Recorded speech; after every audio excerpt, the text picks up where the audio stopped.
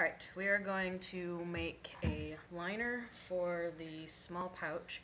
The liner for the large pouch is exactly the same but a different baggie. It's a quart baggie instead of this is the sandwich baggie.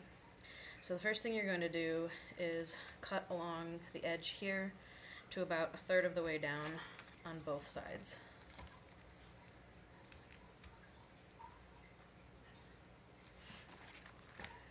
And then you're going to, it doesn't matter really which side, but I like to do it on the side that has this, that's smaller. You're going to cut this down to about a third of the way. And you're going to leave about the same amount of width here as your your flap here because you're going to be pinning it. You want it just a little bit smaller than uh, your flap at the near the U-joint because you're going to be pinning it and you're going to cut this into a U on both sides.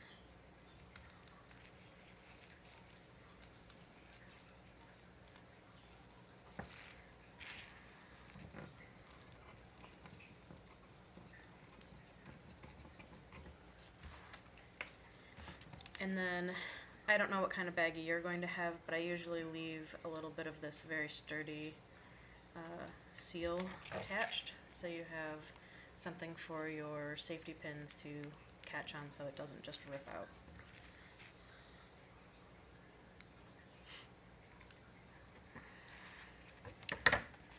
Okay, then you're going to turn it over and you're going to fold this down.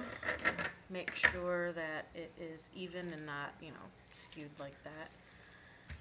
And then you're going to tape this down so that it doesn't go anywhere. And you are going to take a thicker piece like this, cut it in half, the other part set aside because you will use it, but you want to tape up at the fold at the top so that you have you're going to flip it over, put this other piece at the base of the U here. Those two places are going to be the places that your safety pins go through and putting this tape here will help you to not have safety pins rip out. The other thing I would suggest doing is taking two small pieces and taping uh, at the corners where you have folded over um, the top. And that will keep it from coming apart as well because that's a huge stress point for the diapers.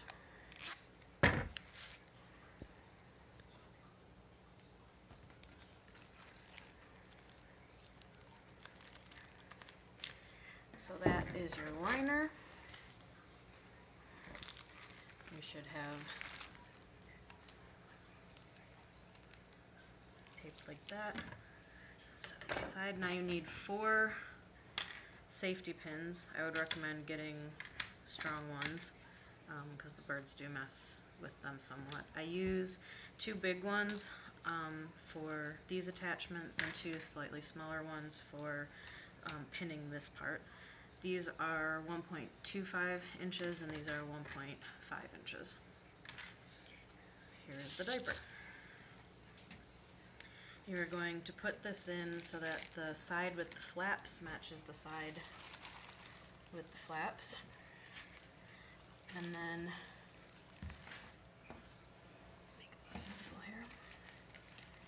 Um, you're going to make sure that these corners fit snugly into the corners of your diaper. And the first pin I usually do is to pin it between the two um, uh, straps.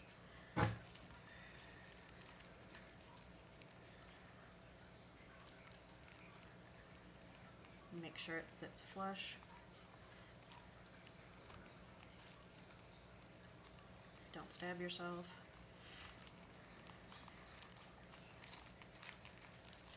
Then I usually um, do the these straps and you just pin them however high they they go up. If you find that your liner doesn't reach the bottom of your pouch, you can cut this a little bit shorter.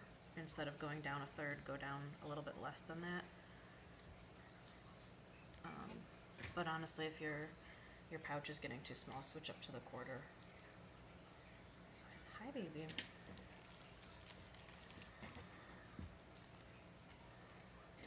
These aren't for you.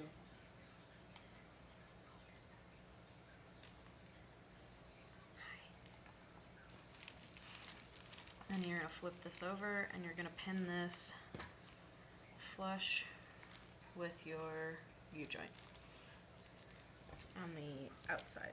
Pin heads should always be on the outside or they will get disgusting. So there's your liner pinned into your diaper.